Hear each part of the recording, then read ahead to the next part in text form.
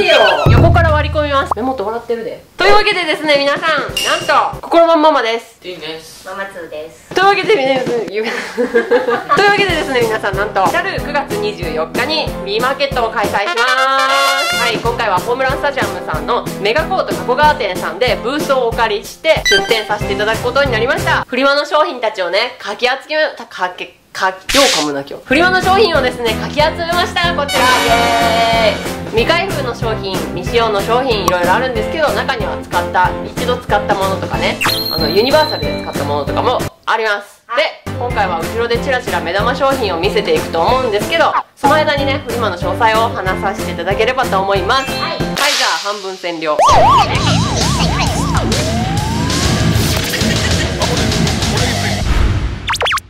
わけでですね多いなという日。時は9月24日月曜日の祝日でございます。時間は12時からなくなり次第終了でございます。こちらなんとホームランスタジアムさんがねこんな広告は今ここ今広告ごめんね。今こちらの広告をね出してくださってるんですよ。イエーイ。心満家初めて広告に登場しました。たくさん配ってくださったみたいなんでお手元にある方はねぜひ見てホームスタさんにね来てください。場所ホームランスタジアムメガコート加古川店。店内です。12時からやってるんでぜひ見に来てください。あの今回はですねフリマに出店という形でやらせていただくんであの写真撮影とかサインを書くとかそういうのはちょっとできません。あのプレゼントをいただくとかそういうのは握手するとかそういうのは全然ハイタッチするとかもできるんですけど写真撮影だけ1点ね写真撮影は自撮りのみ OK とさせていただきます。こうやって来てあの写真撮らせてください。はい性能パシャみたいな感じの自撮りでお願いします。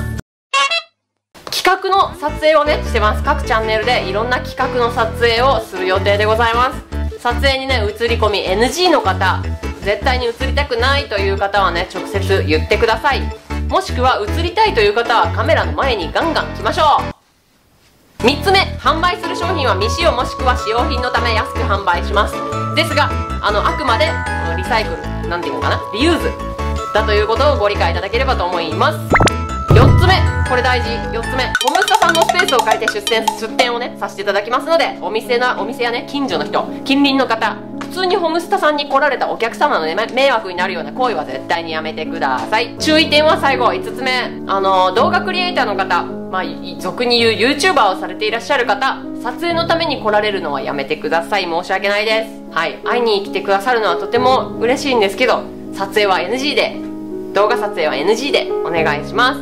質問とかはねまた随時 Twitter とか私の Twitter ママツの Twitter ね送ってくださったらリプができると思いますのでお願いします。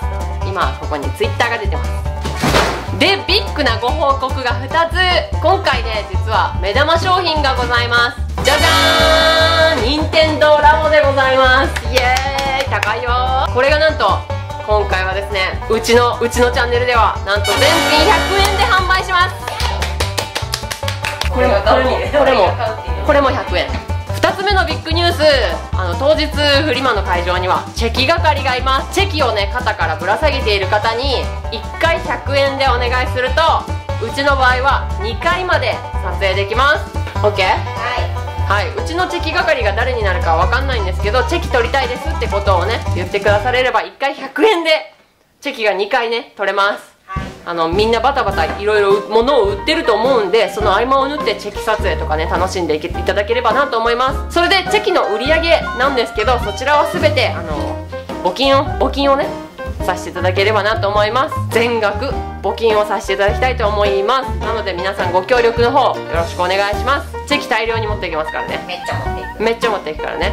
フリマの前日のスポーツ大会にご当選された方皆さんおめでとうございます追加当選された方もメールが来てると思うんで返信して整理番号を受け取って会場にいらしてください。はい。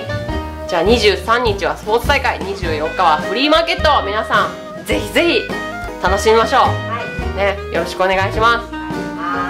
何が売られるかはお楽しみです。はい。私物が入っているかもしれません。ティーンのパンツとか。えこれの3倍以上あるもんねこれの3倍以上あるねまず。それでは絶対に行くよという方チャンネル登録高評価よろしくお願いします。